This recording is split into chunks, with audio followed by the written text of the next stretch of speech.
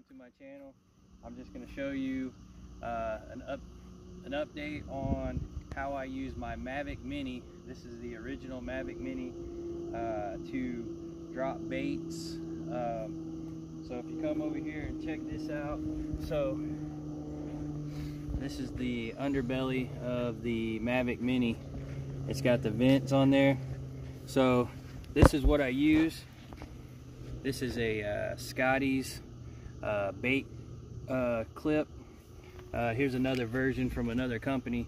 Um, they usually run less than 10 bucks. You can pick these up at your uh, local tackle shop, Bass Pro Shop, uh, Sportsman's Warehouse.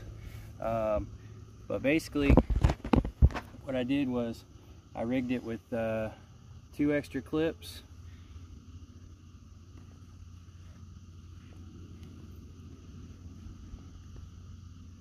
What I do is I take the underbelly and you want to try to get it in the middle so it's uh, pretty stable and just you want to hook it through. Let's see this one right here. You want to hook it through like that and you want to hook this one through like this. Just be a little careful sticking it through there. So you see it hangs down like that it hangs down to the Scotty's bait release clip. And what you want to do is you want to run your line right through here and hover it out and drop a bait. So we're gonna get the rod ready and we're gonna show you how this works. All right guys. So we got the Scotty's bait release clip on the drone like this. So what you do is you'll hover the drone up and you'll have it hovering. And you want to give yourself a little bit of a little bit of slack a little bit of room with it. But what you'll do is you will run the line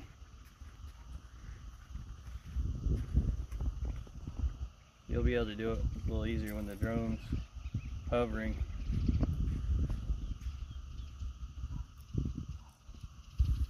what you'll do is you'll clip the line to it and there's your lure. Now with the Mavic Mini, uh, I haven't been able to do anything more than about four ounces to five ounces of weight. Uh, I've been able to do a uh, two drop pompano rig with a four ounce uh, pyramid weight. Uh, but this is a lightweight uh, lure for redfish, speckled trout. But what you'll do is you'll you'll fly it out. And if you look right here you'll flip your bell. You flip your bell. You'll fly the drone out and once you get to where you want it you'll flip this bell back. Make sure your drag's a little tight and you'll keep flying the drone out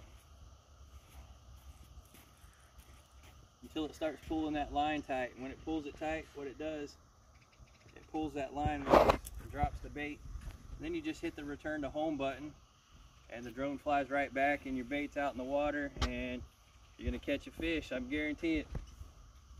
Thanks for watching my channel guys. That's how you do it.